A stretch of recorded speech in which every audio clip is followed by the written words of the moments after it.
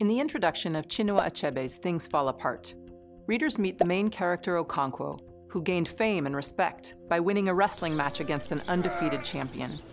Since then, Okonkwo has become wealthy, marrying three wives and fathering 10 children in Umuofia, one of the nine villages of his clan.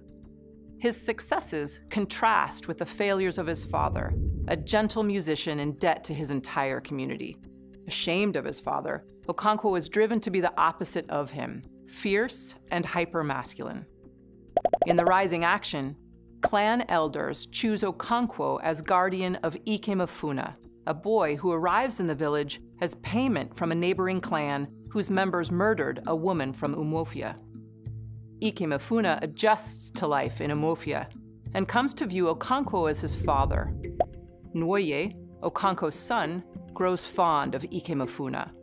But when the priestess Chielo orders Ikemefuna to be killed, a village elder, Ezeudu, warns Okonkwo not to take part in the killing.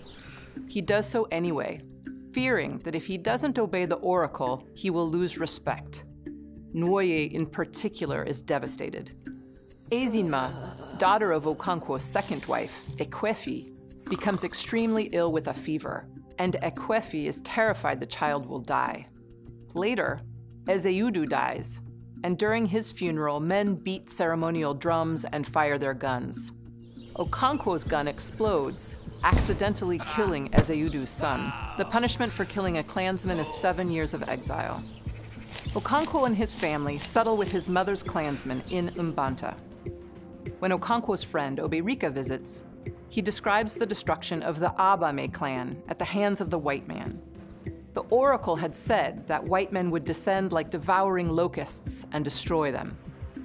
When missionaries arrive in Mbanta and other villages and request land to build a church, villagers begin attending services, including Nwoye, who leaves his father to join the missionaries. Okonkwo decides it's natural for him to have a weak son. As he puts it, living fire begets cold, impotent ash. Okonkwo returns to Umuofia after seven years, but he finds that much has changed. The missionaries are now well established. He wants to fight them, but Obierika warns it is too late. The white man's presence extends further than the church, as British officials have set up a government with a judicial process led by a district commissioner. Enoch, a zealous Christian convert, commits the crime of mm. unmasking an Egwugwu clan leader. In the climax of the novel, the Egwugwu and village leaders respond by destroying Enoch's compound and the church. In the falling action, the district commissioner jails six leaders, including Okonkwo. They're humiliated and tortured in jail.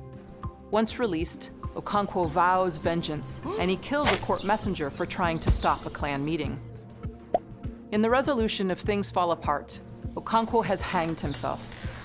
The district commissioner reflects that Okonkwo's story might be worth including in his book, called The Pacification of the Primitive Tribes of the Lower Niger.